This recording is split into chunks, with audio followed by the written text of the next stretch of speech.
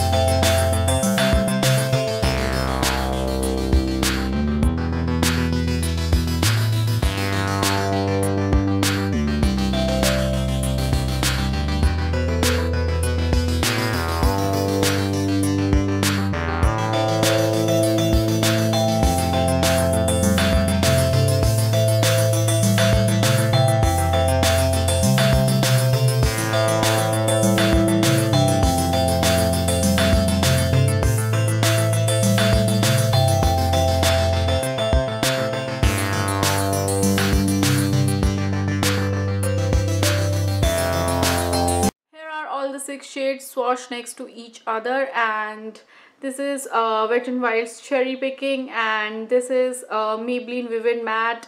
Fuchsia Ecstasy and both the shades are similar except for the fact uh, Maybelline one is more shiny and uh, after you wear it for some time this shine wears off and both the shade look exactly same.